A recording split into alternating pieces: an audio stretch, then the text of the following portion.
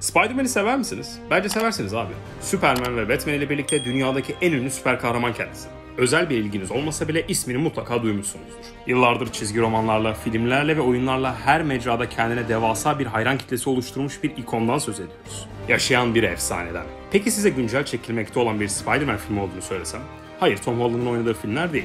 Tobey ya da Andrew Winck'ler de değil. Onlar gelir zaten onu boş ver. Ben yüksek bütçeli bir hayran filminden bahsediyorum. Öyle hayran filmi deyince yanlış anlamayın. Filmin bütçesi seni beni satın alır öyle. Ama bu film normal fan filmleri gibi temiz bir sayfa açamadan yok oldu. Etrafındaki hype bitti, söndü, sıfırlandı. Desteğini aldığı çoğu insan geri çekildi ve filme karşı olan devasa hype yok oldu. Peki nasıl oldu bu? Gelin birlikte bu intikam dolu hikayeye bakalım. Egoların, yeteneklerin ve hırsın bir tutku projesini nasıl yok ettiğine birlikte tanık olalım. Genç yönetmen. Hikayemiz aslında çok eskiye dayanmıyor. 2015-2016 yıllardayız. O zamanlar lisede olan ve büyük hayalleri olan biri var. Gavin G. Conop. Bu genç dostumuz büyük bir Spider-Man hayranı. Sam Raimi'nin filmleriyle büyümüş, çizgi romanlarını toplamış. Bu karaktere karşı büyük bir saygısı ve sevgisi var. Küçüklüğünde izlediği Spider-Man yapımları onu o kadar etkilemiş olacak ki ona küçük yaşta şöyle bir hayal vermiş. Bir gün bir Spider-Man filmi yapmak. Gavin lise yıllarında bir sürü kısa film çekiyordu, yarışmalara ve festivallere de katılıyordu. Üstüne üstlük bunların çoğunu da kazanıyordu. Gavin kendi lisesinde ünlü bir yönetmen olmuştu adeta. Okulda ona sanki Quentin Tarantino'ymuş gibi davranılıyordu. Herkes video projeleri için yardım istiyor bir sonraki filmini merak ediyordu. Lisenin daha başında olan bir sürü sinema hayranı çocuklarla kulüpler bile kurmuştu. Oradakilerle birlikte küçük projeler ve filmler de yönetip yardımcı oluyordu, abilik yapıyordu hepsine. Şimdi düşünsenize bir konuda inanılmaz tutkulusunuz ve önünüzde size abilik yapan tecrübeli biri var. Sizin o yaşta olmak istediğiniz kişi resmen. Bildiğin mentor işte. Dostlarından film ekipleri kurup yeni bir sürü film hazırlıyordu. Fakat her zaman aklının ucunda o diğer proje vardı. Peter Parker'ın Gwen Stacy'yi kaybetmesinden sonraki yasını anlatacak bir Spider-Man filmi. Gavin yıllar geçtikten ve sinema deneyimi arttıktan sonra 2020'nin sonbaharında arkadaşlarını Skype'tan toplayarak vaktin geldiğini söyledi. Artık ekipçe yeterince deneyimleri vardı ve kalibresi büyük bir film yapabilirlerdi. Kendilerine güvenleri tamdı ve kendi Spider-Man filmi için senaryoyu yazmaya koyuldular. 2020'nin sonuna doğru filmin senaryosu hazırdı. İsmi de Spider-Man Lotus oldu. Gavin senaryoyu tamamladı ve alabilecekleri ek bütçeyi de düşünerek ekstra sahneler tasarladı. Normalde aklında küçük bütçeli bir hayran filmi vardı. Peter'ı Spider-Man olarak çok görmeyecektik. Aksiyon ya da New York sokaklarında sallanma olmayacaktı. Boru mu oğlum bu? Koca stüdyolar gerekiyor o sahneler için. Fakat Gavin bu sınırlamanın kendisini durdurmasına izin vermeyecekti. Kendisi zaten kişisel bir hikaye anlatmak istiyordu. Bizi Peter'ın yasıyla boğmak istiyordu. Duygusal yükü fazla olsun istiyordu. Fakat gelebilecek her destek de film için iyi olurdu. O yüzden kendisi kamera karşısına geçti ve aklındaki projeyi anlatmaya başladı. Projenin iyi tanıtıldığını düşündüğü bir dosya hazırladığında bunu alıp Indigo'ya yükledi. Her şeyden önce filmin başrolü için liseden tanıdığı yakın dostu Warden Wayne Peter Parker rolünü götürdü. Warden tabii ki de kabul etti. Fakat projenin çok da büyümeyeceğini dostuna belirtmişti. Yine de bir mucize olursa Indiegogo'da olur diyordu. Şimdi bu Indiegogo ne ondan bahsedeyim. Projesi olan herkes para bulamazsa buraya gelir. Indiegogo türü ne olursa olsun sizin projenizi insanlara tanıttığınız ve böylece fonlamayı ayarlayan bir internet sitesi. Videoyla, örneklerle, yazıyla nasıl isterseniz anlatıyorsunuz ve insanlar beğenirse para veriyor. Bu kadar basit. Gavin Spider-Man Lotus projesinin iyi bir tanıtımını hazırlayıp Indigo'ya yükledi ve beklemeye başladı. Kendisi filmin çekilebilmesi için 5000 dolarlık bir sınır koymuştu. Kendisi kendine güveniyordu güvenmesine ama acaba başka insanlar ona güvenecek miydi? Sonuçta para veriyorlar bu projenin canlanması için. Gavin onları da ikna edebilmiş miydi? İnsanlar bu projeye güvenir miydi? Peki ne oldu biliyor musunuz? Bu projeyi gören herkes filme bayıldı. Spider-Man Lotus ihtiyacı olan 5000 dolarlık para sınırını 24 saatten kısa bir süre geçti. Dünyanın dört bir yanından para ve destek yağmaya başladı. İnsanlar bu filmi görmek istiyordu. Twitter'da yoğun ilgi gördü, sosyal medyaların hepsinde hashtaglerle paylaşıldı.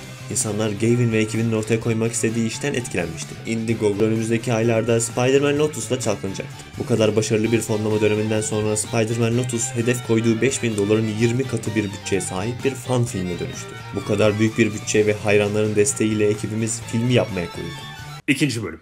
Bir Spider-Man filmi yapmak. Gavin filmin bütçesinin bu kadar artmasına şaşırmıştı şaşırmasına ama kendisine zaten çok güveniyordu. Biraz iyi tanıtsam millet bize güvenir, para verir kafasındaydı. O yüzden diğer dostlarına ayrıntılı şekilde bahsetmediği bir sürü sahne ve hikaye fikri vardı. Mesela çizgi romanlarda Gwen Stacy'yi öldürdükten sonra Spider-Man Green Goblin'i öldüresiye dövdüğü bir sahne mevcut. Gavin kendi filminde bu sahneye değer vermek istiyor. Onun dışında Peter'ın örümcek adamlık yaptığı bazı sahneler de çekilecek. New York sokaklarında dolaşacak ve bazı çetelerle dövüşecektik. Ufak ufak suçlar dolduracak ve Peter'ın Spider-Man olarak yaşamına biraz daha değinecektik. Gavin ellerindeki tüm bu planları dostlarına sunduktan sonra hepsi kabul gördü ve hızlıca çalışmalara başlandı. Green Goblin karakteri için çok ayrıntılı bir kostüm hazırlandı. Şu kostüme bakar mısınız abi ya? Bu nedir? Velhasıl pre-prodüksiyon aşaması tamamlandı ve Spider-Man Lotus için çekim süreci 2021 yılının yaz sonu gibi başladı. Çekimler oldukça iyi gitti. Setler konusunda sıkıntı yaşamadılar. Hayranları her zaman destekliyordu. Normalde bu tarz fan filmlerinde çekim süreçleri en sıkıntılı olan şeylerdir. Büyük bütçe olmadığından ters bir şey gitmesi tüm planları bozabilir. Çekim için kocaman bir ekibiniz var ve abi gidiyorsunuz. E bam set kullanılmaz halde mesela. E o kadar insan programlarını hazırlamışlar gelmişler. Ona rağmen çekim yapamıyorsunuz. Çözüm üretmeniz lazım. Bu tarz olaylarda grubu demoralize eder her zaman. Motivasyonlarını düşürür. Gavin ve ekibi şanslıydı ki Lotus bu tarz sıkıntılarla pek karşılaşmamıştı. Filmin bütçesi istedikleri tüm setleri, ışıklandırmaları ve portatif ışıkları ve tüm gerçek ses ekipmanlarını almalarına yardımcı olmuştu. Çekimler tamamlandı ve post prodüksiyon aşaması başladı. Filmin kurgusu yapılacaktı ve daha da önemlisi Gavin'in hayranlara söz verdiği o sinematik kalitede bir fan Spider-Man filmi sözü için filmdeki özel efektlerin sahnelerinin yapım başlamıştı. Sallanma sahneleri, kostümlerdeki detaylar vesaire vesaire. Gavin bu süreçte sosyal medya üstünden hayranları ve destekçileriyle birlikteydi her zaman. Kurgu ekibinden fotoğraflar geliyordu, çekimlerden resimler atılıyordu, filmin ana teması hazırlanıp YouTube'a paylaşılmıştı. Gavin çoğunlukla hayranlarla canlı yayınlarda buluşup soru cevap yapıyordu. Her zaman aktiflerde filmin gümbür gümbür geldiğinin habercisiydi bu şeyler. Spider-Man Lotus şu ana kadar çıkmış en iddialı fan filmlerden biri olacaktı. Filmin fragmanı 2022'nin başlarında yayınlandı ve hemen viral oldu. Hatta ve hatta en son Spider-Man üçlemesinin yönetmeni olan John Watts bile sosyal medyadan fragmanınız ne güzel diye yorumda bulundu. Bunun gibi büyük bir gazla ekibimiz çıkış tarihine hızla gidiyordu. Ama işler beklendiği gibi gitmedi. Tarih 17 Haziran 2022'yi gösterdiğinde işler Gavin ve ekibi için ters bir dönüş aldı. Hayranlarıyla neredeyse her gün iletişimde oldukları Twitter'da kimliği bilinmeyen ismi Berg olan bir kullanıcı yıllar önceden bazı konuşmaların ekran görüntülerini paylaşmıştı. Bu konuşmalar tüm hayranlar ve filmi bekleyenler için büyük bir öfke ve şaşkınlık dalgası yarattı. Çünkü konuşmaların içinde Spider-Man Lotus filminin başrolü olan Warden'ın ırkçı ve hararet dolu konuşmaları vardı. Dostumuz inanılmaz sert bir dille ırkçı terimler kullanmıştı. İşte siz anladınız. N-word. Bolca hem. Bu konuşmalar topluma açılınca insanlar hemen şikayetlerde bulundu ve Peter Parker rolünü değiştirmesini istediler.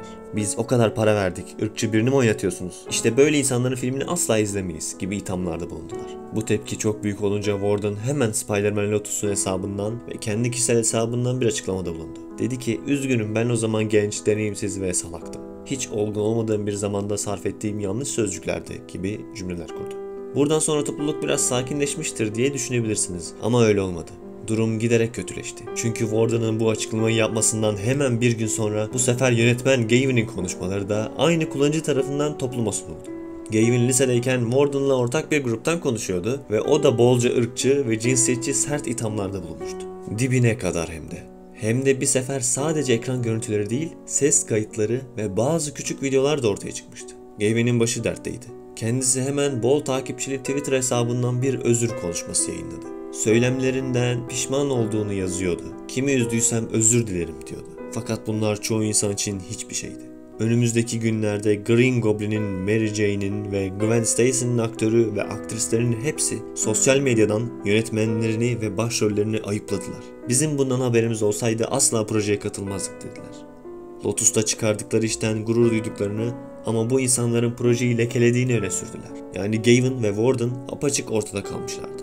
Peki bunlar ne oluyor? Başta bu ekran görüntülerini ve ses kayıtlarını atan kimdi? Kim Gavin'i, Warden'ı ve Spider-Man Lotus filmini hedef almıştı? Kimdi bu gizli birey? Dördüncü bölüm. Kimdi bu intikamcı? Şimdi size Gavin'in önceki yıllarından da bahsetmiştim. Lise yıllarında. Kısa filmler çekip çizgi romanlar toplayıp genç yetenekleri yol gösteren bir abi figürü demiştim. Hatırlıyor musunuz? Heh, oraya geliyoruz. Berk isimli Twitter kullanıcısı bu sızıntıları yaptıktan hemen sonra gerçek ismini açıkladı. İsmi Matt'ti ve 2017 yılında Gavin ile tanışmıştı. Film yapmakta becerikli ve Spider-Man hastası olan bu abi Mark'ın hemen dikkatini çekmişti ve otomatikman onu bir idol olarak görmüştü. Tamam diyordu. Ben Gavin gibi olacağım. Hatta kendi Spider-Man filmimi de çekeceğim. Gavin de devamlı abilik yapıyordu. Yaparsın sen, aslansın, koçsun, yürü be adamım diyordu. Mark da diyordu ki ya yalnız abi ben Spider-Man filmi yapacağım da işte senaryoydu, özel efektlerdi, kurgudur. Gavin de lafı mı olur oğlum? Tabii ki yardımcı olurum. Gel ben sana bir oralet ısmarlayayım da bu dünyada hep yanında abin olduğunu unutma. Son cümleyi söylememiş olabilir de siz anladınız işte. Bunları duyan Mark aşırı heyecanlı ve umutluydu. Sonunda kendi Spider-Man filmini yapacaktı. Fakat işler onun için de beklediği gibi gitmedi. Çünkü Gavin her kazandığı popülerliğiyle küçük dostlarını ve işi olmayan arkadaşlarıyla artık takılmamaya ve iletişimde bulunmamaya başladı. Ne zaman ki çok takipçili bir Twitter hesabına ulaştı artık Gavin için kendisi Tarantino'dan farksızdı. Binlerce insanın takip ettiği bir Spider-Man filminin yönetmeniydi o. Küçük çaplı insanlarla işi yoktu. Fakat Mark kendisine söz verilen yardımlar yapılmayıp mesajlarına bile dönülmeyince sinirden köpürdü. Ve kendisi yemin etti. İntikamımı alacağım. Sonra gel zaman git zaman yıllar geçti ve Spider-Man Lotus ön plana geldi. Mark, Gavin ile ortak gruplarda ve kişisel hesaplarında eski konuşmalarını bir göz gezdirdi bir şey bulabilir miyim diye. Ve Gavin'in ve aynı zamanda Warden'ın ve tabii ki de Spider-Man Lotus'un kaderini tehlikeye atabilecek materyale sahip olduğunu fark etti ve harekete geçti. 26 Temmuz gibi Gavin tepkileri dayanamadı ve Twitter hesabını dondurdu. Bakın kapatmadı. Sadece dondurdu. O zamandan beri de bir hareket yok. Filmin kostüm ekibi de sosyal medyadan bir açıklama yaptı. Projenin sadece iki kişiden oluşmadığını, Spider-Man Lotus'ta bir sürü insanın çalıştığını söyledi. İki kişinin yanlışları yüzünden diğer insanların hakkı yenmemeli diye eklediler. Tabi Gavin ve Warden'a kızgın bir ton hayran bu posta saldırdı. Kostüm ekibi de bu tepkilerden sonra bu gönderiyi sildi. Şu anda filmin üstünde çalışılıyor mu, çıkacak mı hala belli değil. Post prodüksiyonda gözüküyor. Yakın zamanda bir haber gelir mi belli değil. Bu fan filminden istediklerini alamayan Spider-Man hayranları ise gözlerini yeni bir fan filmine çevirdiler. Yine Indiegogo'dan fonlanan Spider-Man Convergence ismine sahip bu film şu sıralarda en ünlü fan Spider-Man filmi. Ne diyelim? Umarım onların filmi böyle bir hikayenin başrolü olmaz. Peki ne öğrendik bu hikayeden? Ne kadar yetenekli olursak olalım egolu olmamamız gerektiğini, küçüklere saygı gösterip büyük insanların sözüne güvenmememiz gerektiğini? Hepsini çıkarabiliriz ama bence Peter esas düşünceyi iyi söylemiş. Büyük güç büyük sorumluluk getirir. Kendinize iyi bakın. Görüşmek üzere. Hoşçakalın.